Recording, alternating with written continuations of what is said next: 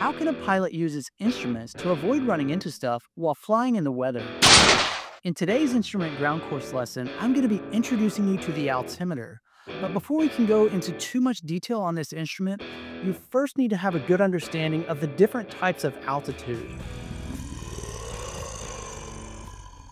Welcome to Free Pilot Training, where today we're going to be talking about the different kinds of altitude you need to know about as an instrument pilot. And in order to be able to use the altimeter effectively, this is something that you have to understand first. This is because, contrary to what anyone might tell you, your altimeter only displays one type of altitude, and that is indicated altitude.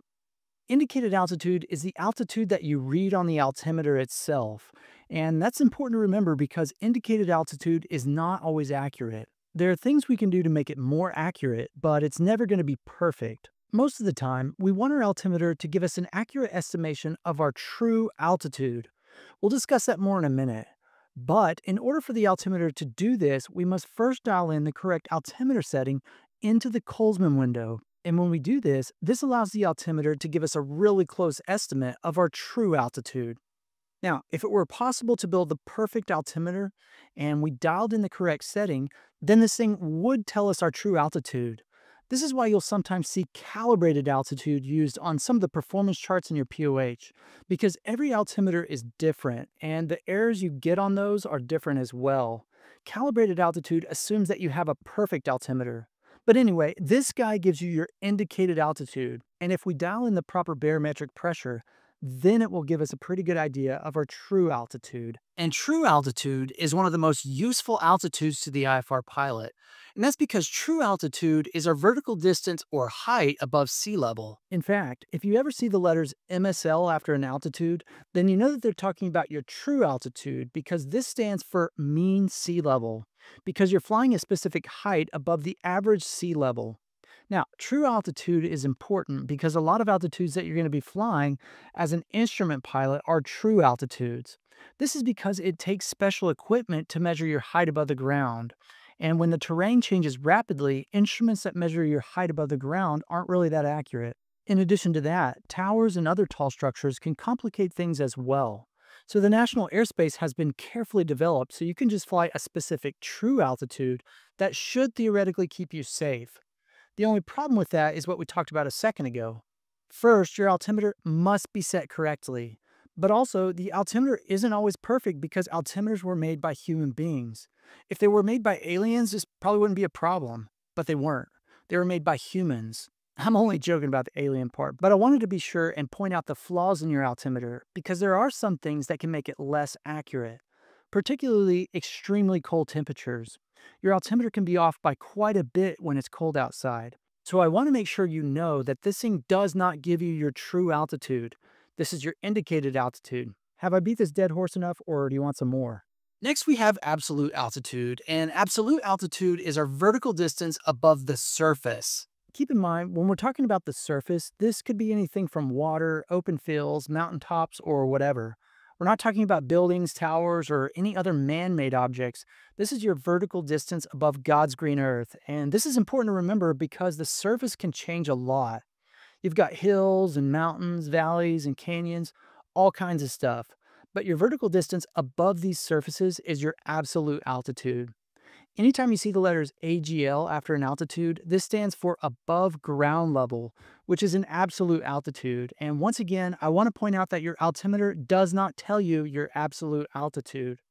Well, I guess it could if the elevation in that area was exactly zero feet MSL, but that's pretty rare. Now, they do make special altimeters that do tell you your absolute altitude or your height above the surface, but they're super expensive, so you probably won't see any of those during your training. These are called radar altimeters or radio altimeters, and if you know anything about the 5G shenanigans, then you also know that these are super unreliable right now because of the 5G signals being put out by cell phone towers. This is why it's so important to know about the cowtimeter. And for those of you who don't know what this is, I'll give you a quick lesson. C-130 pilots use the cowtimeter to determine when their absolute altitude is below 500 feet AGL. If you're above 500 feet, you won't be able to see the legs of a cow that's standing on the surface. If you're below 500 feet AGL, you can. Now the cowtimeter is all in fun, but the next time you're out flying around, you'll find it to be pretty accurate. Keep in mind, if you don't have a radar altimeter like we just mentioned, or you're in the weather and you can't see the ground, the old altimeter isn't going to work for you either. In this situation, the only way you can find your absolute altitude is to calculate it. And the way you can do that is to take your true altitude and subtract the height of the terrain in that area. Once again, your altimeter isn't perfect, but it's going to give you a pretty close estimation of your true altitude, which is your height above sea level. So, if your true altitude is 4,000 feet MSL, and you look down at your IFR low chart and see that the elevation in that area is 540 feet MSL, like it is here at Hot Springs, Arkansas, then you could subtract 540 from 4,000 to get an absolute altitude of 3,460 feet AGL. Don't forget, your altimeter is not perfect, so neither is this altitude, but it should be pretty close. Next, let's talk about pressure altitude. And for VFR operations, we mainly only use this for performance calculations. But now that you're getting your instrument rating, you could actually use this in flight as well. Before we get into that, you might be wondering what the heck pressure altitude even is. And if you are, pressure altitude is simply the height of your aircraft above the standard datum plane. Don't look at me like that. Don't you know what the standard datum plane is? Yeah, I didn't know what that was either, so let's talk about that for a second. A long time ago, in a faraway land, there once was a scientist, and this scientist was smarter than you and me. And apparently, he measured the atmospheric pressure at a bunch of different places at sea level across the globe. And guess what he figured out? He figured out that on average, the pressure at sea level is exactly 29.92 inches of mercury. And because of that, we tell new pilots that on average, the pressure at sea level is 29.92 inches of mercury. Now, the funny thing about this is, is that the pressure at sea level is almost never 29.92 inches. But I guess this gives us a starting point for all our calculations, so that's what we use. And that's why we call 29.92 standard pressure. Now, here's where things get kind of interesting.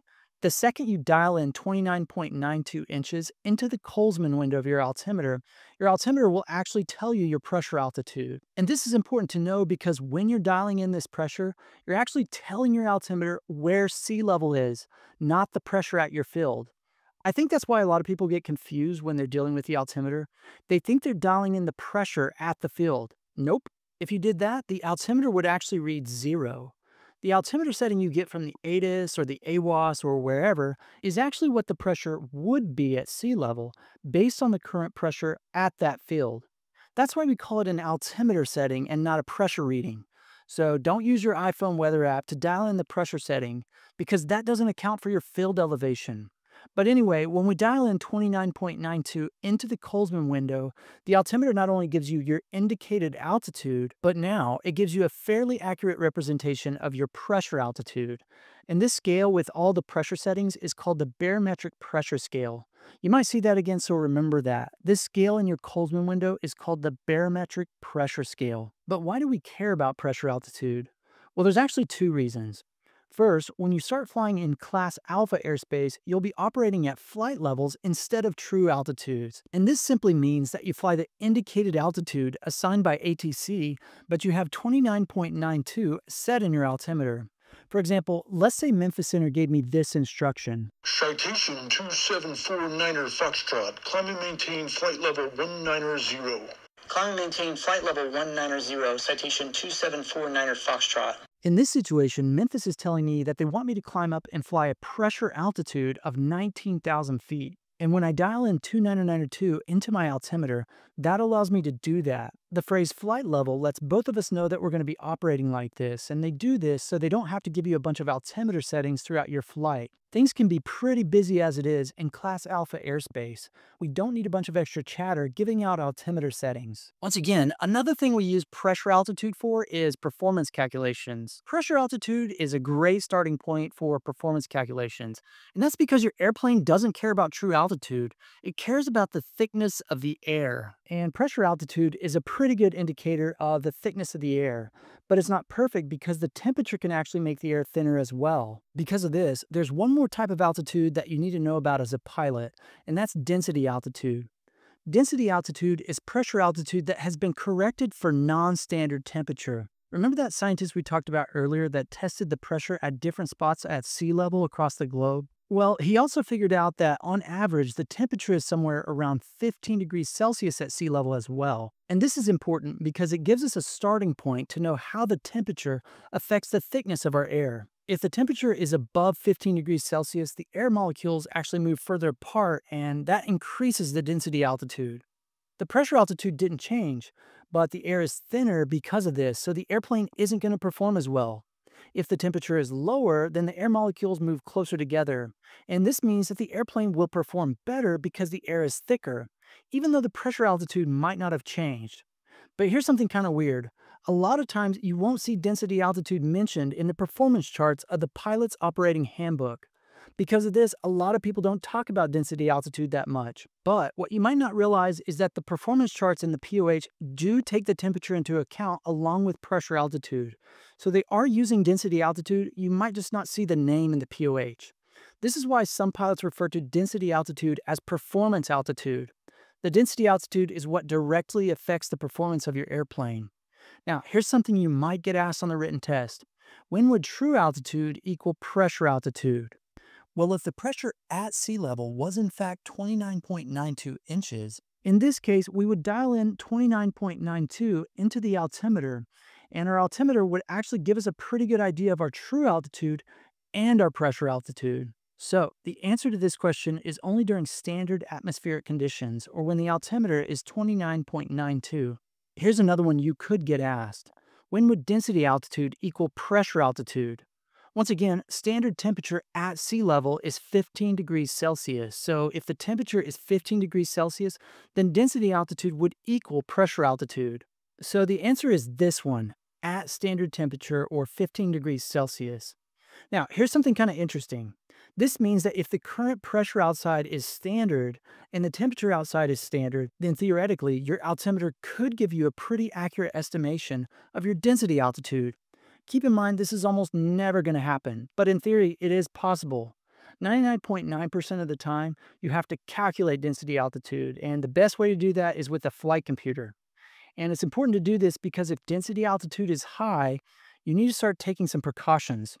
High density altitude means you're going to need more runway for takeoffs. The airplane is going to climb more slowly, and your landing distances are going to be longer. Your propeller is also going to be less efficient as well, and this means you'll fly slower. For some airplanes, you might need to lean the mixture or take other precautions. So it's important to understand when you need to do that. Okay, so we've got indicated altitude. This is the altitude that you read on your altimeter. It's not always perfect, but it can give you a pretty close estimation of your true altitude and your pressure altitude once it's set properly. True altitude is our height above sea level, and if we dial in the proper altimeter setting, the indicated altitude that we see on the altimeter will be pretty stinking close to our true altitude. Pressure altitude is our height above the standard datum plane, or you could say it's our height above an altimeter setting of 29.92 inches, because 29.92 isn't always the pressure at sea level. That's just the average. If we dial in 29.92 into the altimeter, our indicated altitude is now pretty close to our pressure altitude. Absolute altitude is our height above the surface, and once again, this takes a special tool to read this.